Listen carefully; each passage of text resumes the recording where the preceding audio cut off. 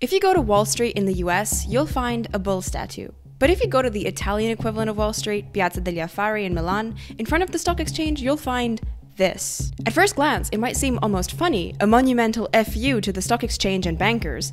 Since it was erected a few years after the financial crisis of 2008, the meaning might seem quite explicit. But actually, this statue is far more philosophical than you think, and like all great art, when it was first unveiled in the square, the business community rallied to take it down, to no avail. So it's called LOVE and was sculpted by none other than Maurizio Cattelan. You might remember him for this banana a few years back, but there are actually two main interpretations for this statue. The first is that when you look closer, you'll notice that the fingers aren't just folded but rather cut off. But if they weren't, then this would be the exact gesture of the fascist salute.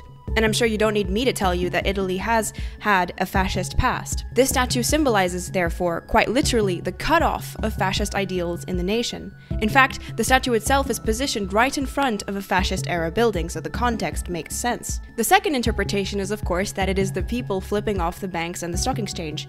But I think that there's a bonus interpretation, which I actually personally believe in, which is that since the statue is facing away from the stock exchange building, it's actually the stock exchange flipping us, the public, off. But what do you think of this?